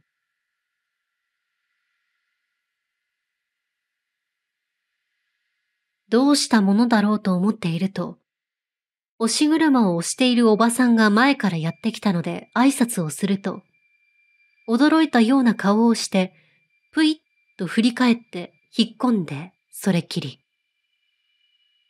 なんかやだなぁ、と思って、とりあえず集落の真ん中を通る道を山手の方に向かって歩いていくと、道の脇の家についている電気メーターが目に入ったので、ちょっと覗いてみて、愕然とした。側はあるが、中の機械がなかった。慌てて向かいのメーターを覗いたら、同じく中の機械がない。その隣も中身がなかった。ここには数十軒の家があるみたいだが、かなり人が住んでいない家が混ざっているみたいで、ちょっと怖くなって、足早に砂利道を山手の方へ行くと、どん詰まりに公民館みたいな建物があって、なんか中から人の声がわさわさと聞こえて、ちょいビビりつつ公民館の横手を見ると、結構大きい盛り土がしてあって、盛り土がしてあって、無数の白い紙の人形のようなものが割り箸みたいなのにつけられて突き刺さっていた。こら勘弁してください。という感じで回れ右をして元来た道を一目散に下っていくと、T 字路で行き止まり、下手は田んぼが広がっている。とりあえず一般道に出るために来た方向とは向かい側の道を行くのだけれど、一般道には出れず、結局また公民館みたいなのに行き当たる。どうしたものか、と思っていると、公民館から人がわらわらと出てくる気配があって、やっぱりちゃんと道を聞こうと出ていくと、公民館から出てきたのが小学生ぐらいの子供たちがわらわらっと。平日、学校にも行かず、この子たちは何をしているのだろう、と思っていると、中から大人の男性が何人か出てきて、いきなり、何してると叫んでこっちに走ってきたものだから怖くなって、全速力で山の方へ田んぼをかき分けながら逃げた。叫び声は聞こえるが追いかけてはいないようだった。とりあえず高いところまで登って集落を見下ろすと、外に抜ける道が一本もない。そして奇妙なのが、公民館の裏手に無数の十字架のようなものが立っているのが見えた。盆地を迂回して車に戻ると、とりあえず役場に行って最新の地図をもらいながらその話をしてみたが、信じてもらえなかった。何が何だかよくわからなかったが、あれは臨海学校か何かのキャンプ場だったということで納得させることにした。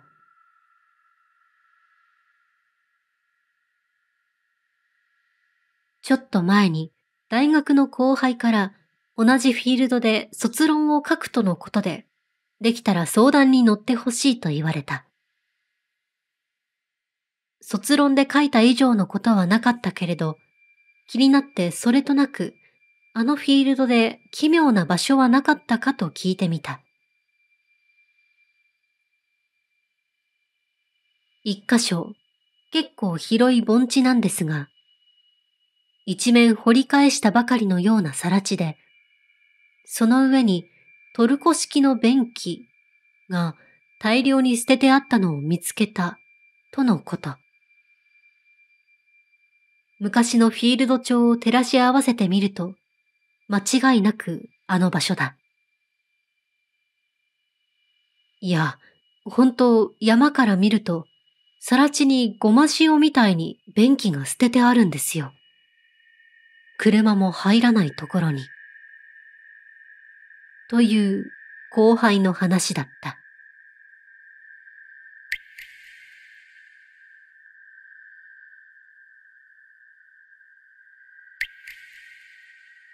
日暮里駅の階段23段目。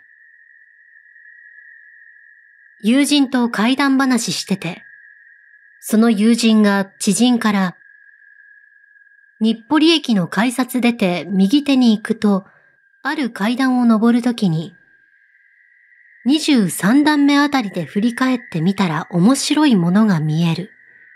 って聞いたって話が出て、その後罰ゲームで夜の2時前に俺一人で原付きで日暮里駅に行ってきました。その階段に着いたら左手にはコンビニとかあるし全然怖くないわけ。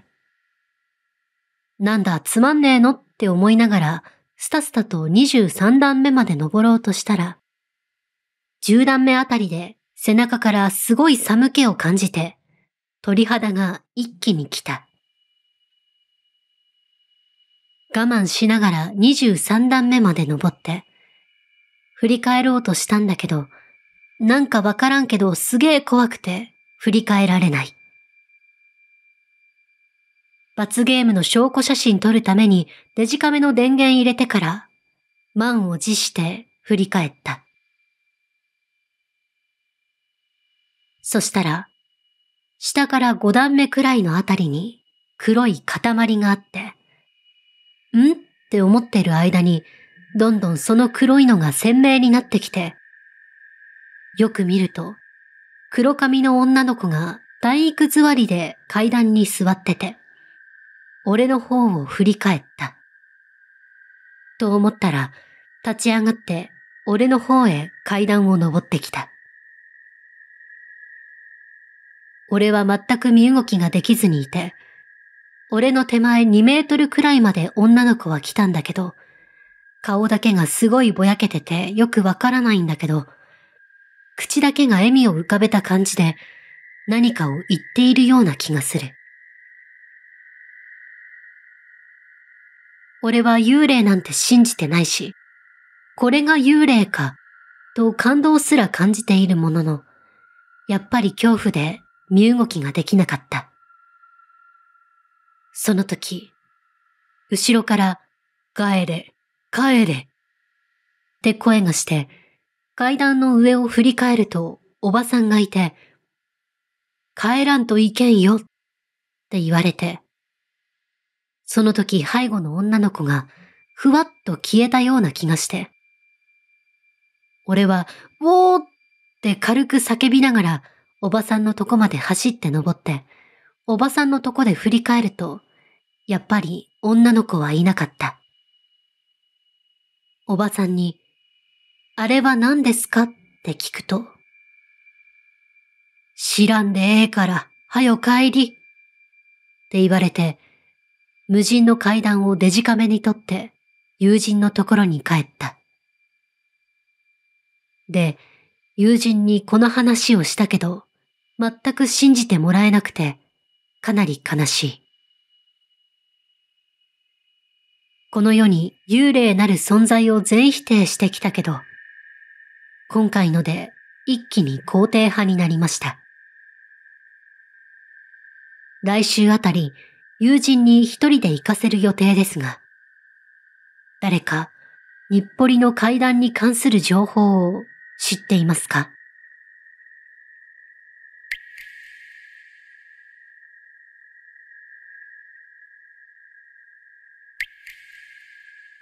念願の一人暮らし。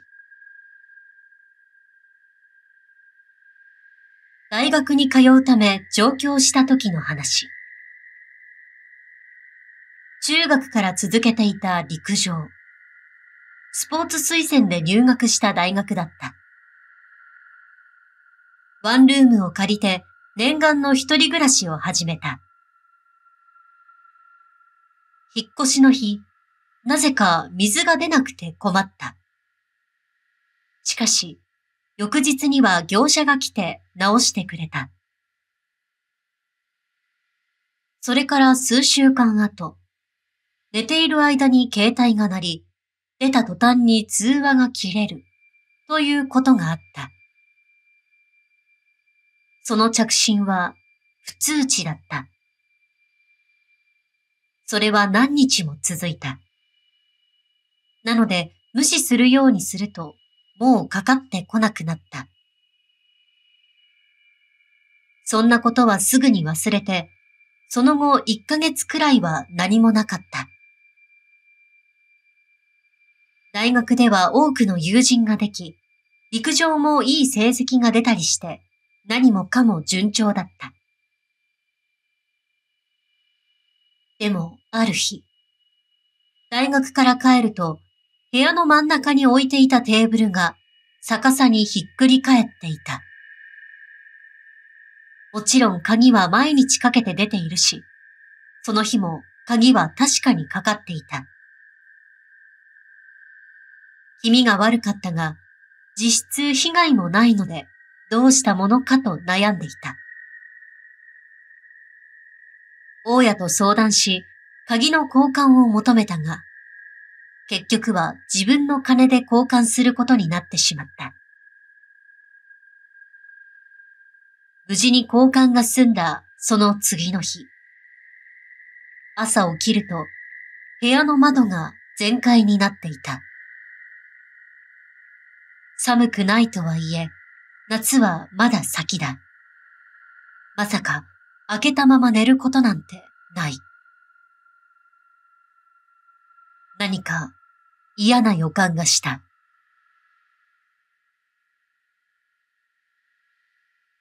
すぐに窓を閉めた。すると、バーンとすごい音がして、クローゼットのドアが勢いよく開いた。心臓が止まるかと思った。近づいて中を覗く。すると、そこには大量の白髪が落ちていた。それを見て吐きそうになった。気持ち悪いので割り箸で掴んで捨てようとする。その時気がついた。その長い白髪は、つながった一本の白髪だった。例など信じていなかったが、そうとでも思わないと説明がつかなかった。その日、神社でお札を買って帰った。玄関と部屋にそれぞれ貼った。お札の効果を期待して、その日は早めに眠った。翌日目を覚ますと、枕元に包丁が刺さっていた。思わず声を上げてしまった。部屋を見渡すと、ナイフやカッター、箸、フォークなどが自分のカバンや服に刺さりまくっていた。そして、お気に入りの靴が何かでズタズタにされていた。とても履ける状態ではない。あのお札はどこかに消えていた。もう嫌だ。すぐに部屋を引っ越すことにした。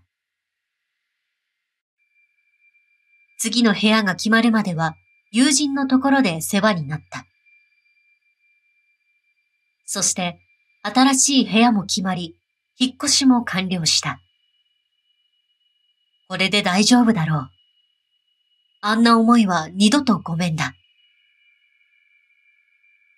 実際、引っ越してからはおかしな現象は起こっていない。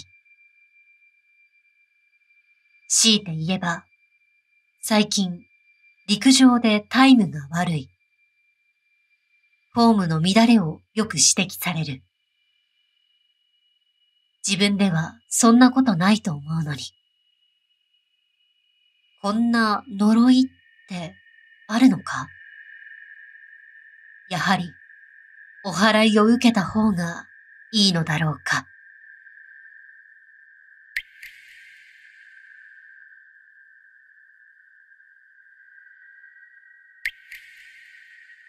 古き神降臨。お前らオカルト好きなら知ってるやつも多いと思うが、クトゥルフ神話ってあるよな。H.P. ラブクラフトが書いた作品群が、後世そんな風に呼ばれるようになったものだが、それにまつわる奇妙なことがあって気になってる。セカンドライフの日本語版サービスが公開されてしばらく経った頃、物珍しさでやってたんだが、そこで、ザ・フェイスレス・ゴッドなんていういかにもなファーストネームをつけてる奴がいたんで、ああ、こいつもフリークかって思って話しかけた。ここで簡単にラブクラフト知らない奴に補足しとくと、ザ・フェイスレス・ゴッド、無謀の神ってのは、ナイアルラトホテップ、もともと発音できない文字列に音を当てたものなので、ニャルラトホテップなどの各種読みがある。で、架空の神の別名。こいつには他にもたくさん別名があって、ハイヨル混沌ってのが有名かな。クトゥルフの旧支配者と呼ばれる恐怖をもたらす神々は、ことごとく幽閉されてるんだが、唯一、このナイアルラトホテップだけが幽閉を免れていて、接触した人間に狂気と混沌をもたらし破滅させるっていう設定がある。何やってはるんですか？こんなとこで。トラペソペドロン、どっか行っちゃったんすか？相手。今後はニャルとする。そうなんだ。おかげで誰にも呼んでもらえなくてね。だいたいなんでこんなとこに ?100 年ほど前までは結構ブラブラしてたんだが、最近地球に来てなくてね。久しぶりに来てみたらこのざまだ。ここは一体どこなんだ？こんな風に完全になりきりプレイをやっているようで、面白かったからからかって遊んでた。なりきりやってるだけあって原作をかなり読み込んでるらしく、ラブクラフト作品にかなり詳しくて、なんだかんだで仲良くなったんだ。その後、ラブクラフト好きのネットの友人二人にも紹介して、それなりに楽しくやってた。このニャルは不思議なやつで、普通なりきりやってるやつってのは多少はボロが出るもんだが、全く出なかった。その上不思議なことに、俺らがいつ行ってもいた。その当時は、この自宅警備員め、としか思っていなかったんだが。そんなこんなで数ヶ月が過ぎた頃に、ニャルが、ここから出たい、というようなことを頻繁に言うようになった。その言葉を俺らは、ニャルがセカンドライフに飽きたんだなって解釈して、俺らもセカンドライフに飽き飽きしていたこともあり、俺らそろそろやめるわ。またどこかで会った時はよろしくな。と別れを告げようとした。そしたらニャルが、選別代わりにプログラミングの基礎を教えてくれないか。と、初めてなりきりっぽくないセリフを吐いた。俺はそれを飯の種にしていることを以前話したことがあったから、それを覚えてたんだなと思って心よく教えてやった。それから時が経って今に至るが、3週間前に全く音沙汰のなかったニャルからメールが届いた。タイトル、成果発表。本文、ありがとう。君たちのおかげだ。そのメールには、添付ファイルで Java アプレットがついてたんだが、いかにも怪しい。ウイルスチェックをかけてみたんだが、結果はウイルス検出なしだったんで、まさかまだパターンファイル化されていない新種仕込んでることはないだろう。と思ってそれを実行してみた。ブラウザで実行した結果は、ハローワールドだった。気になって当時一緒にセカンドライフやってた二人に聞いてみたら、同じメールが届いているとのこと。おいおい、二年もかけてハローワールドはねえだろ。と、その時はみんなで笑ってたんだが、メールが来てから一週間が経った頃、友人の一人が、ニャルのハローワールドの意味が分かった。というメールを最後に連絡が取れなくなった。それからさらに一週間後、二人目の友人が炎のように燃え上がる三つの目が、というメールを残して連絡が取れなくなった。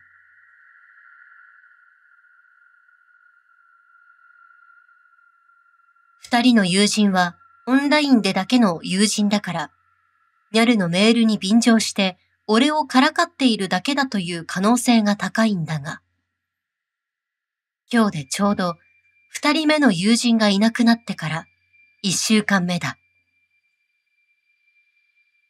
ハローワールドって、よく考えると、すごく怖い言葉だよな。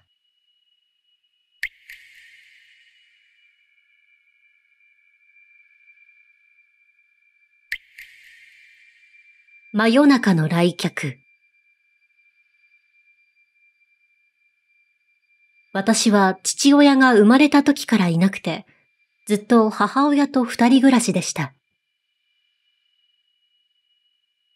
現在、結婚して家は出ていますが、私がまだ母と暮らしていた17歳の頃のことです。夜中の3時ぐらいに、ピーと玄関のチャイムが鳴りました。ちょうどその日は母と夜中までおしゃべりをしていて、二人とも起きていました。こんな遅くに誰だろうね、なんて話しつつ、私が、はい、とインターフォンを取りました。そうすると、女性の声で、あの、あの、突然すいません。今晩、あの、止めていただけませんか？と。声の感じでは40代くらい。その妙におどおどしていた感じが気になって、え、今日止めてくださいって母の知り合いの方ですか？と聞き返しました。すると相手は、いえ、全然違うんです。あの、私、近所のマンションに住んでいまして、あの、私、会社をクビになって、あの、もう住むところがなくて、だから、と、止めていただきたいと。話がよく理解できなかった私は、母の知り合いではないんですね。でも止めるのは、とおろおろしてしまいました。そこで見かねた母が、私が変わるから、と言ってインターフォンで話し始めました。私は一体何なんだろうと思って玄関の窓越しに相手を見に行きました。私が玄関の窓越しに見たその女性は明らかに変な人でした。まず、顔はどう見ても50代なのに、金髪の長髪。白い帽子をかぶっていて、明るい緑のブラウスに赤地に白の水玉のふわっとしたスカート。右手にはたくさんのものが入った紙袋を持っていました。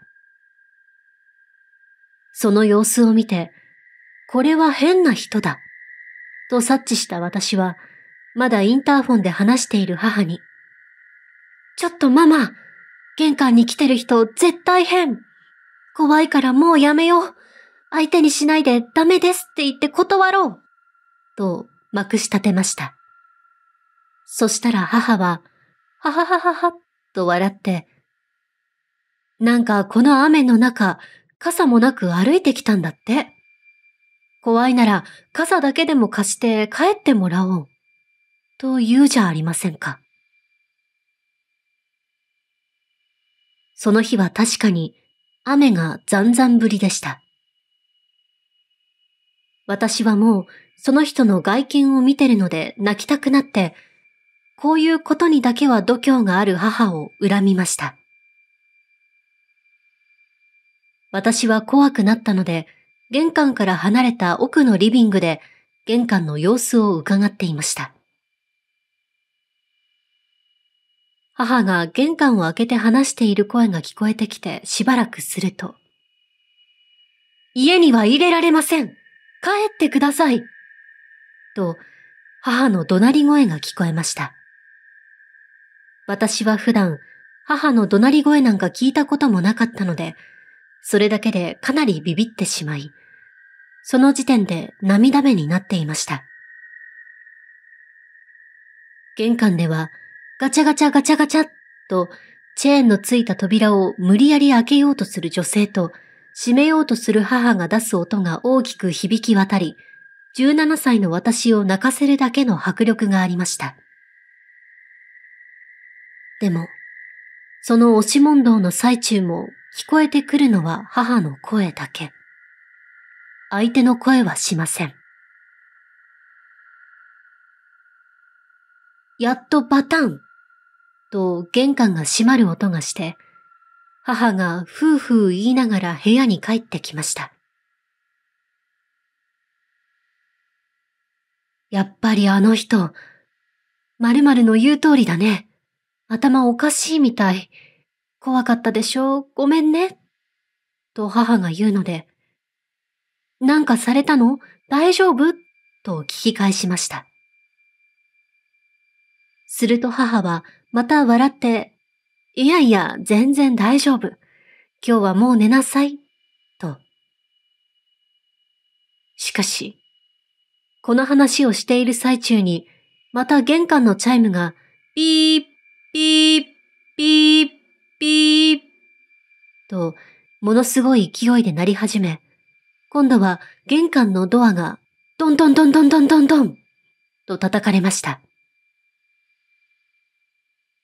私のビビり具合はマックスに達して、警察に電話しようよ、と泣き始めました。母は、あとしばらく続くようなら警察を呼ぼう。あなたはもう寝なさいって大丈夫だから。と言い、寝る準備を始めました。私は怖くてなかなか寝つけず、しばらく玄関の音に耳を澄ませていました。玄関の音は30分ぐらいで止みましたが、それ以来、しばらくは夜中のお客さんは怖くて怖くて仕方ありませんでした。その夜の出来事から5年後、私は一人暮らしを始めることになりました。明日から新しい部屋で暮らすことになった晩に母と話をしていて、そういえば、あんなことがあったね。私怖くて怖くてめっちゃ泣いた記憶がある。と話したら、母が、うーん、あれだけで怖がってるようじゃ大丈夫かしらね、一人暮らし。というので、あれだけで？と聞いたら、母が言うには、私ね、あの時あなたがものすごい怖がってたから言わなかったけど、まずあの人ね、雨が降ってる中歩いてきたって言ってたのに、全然雨に濡れていなかったのよ。で、左手にバットを持ってたの。しかもあの人、男の人だったよ。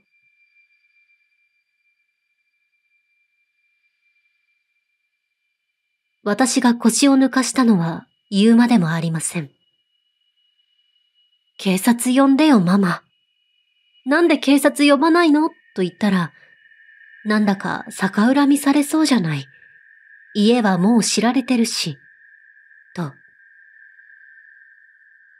その次の日から一人暮らしをすることになった私ですが、怖くてしばらくは実家に帰っていました。以上です。長々とすみませんでした。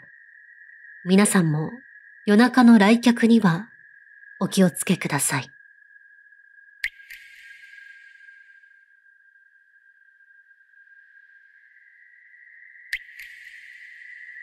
見えない。